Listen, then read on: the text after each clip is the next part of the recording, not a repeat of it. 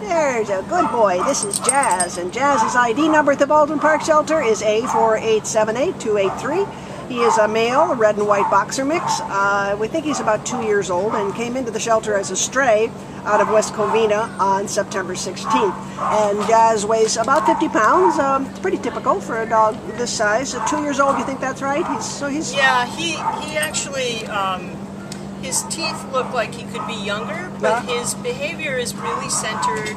Yeah. Um, and just he's just a really calm guy. So even if he's uh, even if he's younger than that, he's got the he's got the maturity of an older dog. He does. He's very calm, and especially in this environment, you know, where many dogs just get really, really wigged out here with the smells and the sights, and he's just wow, he's just yeah, chilling. yeah. I He's wa- really- when I came up and, and um, met him in his kennel, he was just laying there and just polite as could be. And you know, I put the collar on him, and he just got up and calmly walked out. Yeah. So he's a really chill guy. He's going to be a really, really good family dog. He's a great size. He's gentle. He's sweet.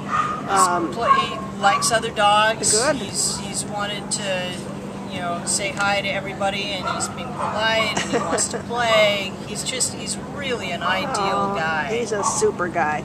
Not too big, 50 pounds. You know, for if this is uh, he's kind of I'd say medium largish dog. He's uh, but he's not like um, the the stocky guys. You know, he's he's kind of svelte actually. Uh, Yeah, for, for yeah, and he, size. he, um, I, I don't think he's had a whole lot of training, but I also don't think that he's going to be that hard to train. Yeah. you know.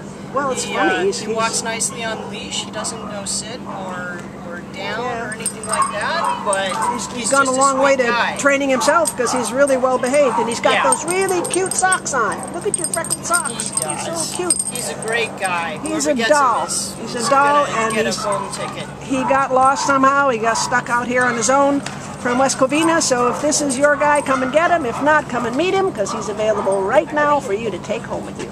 So long, buddy.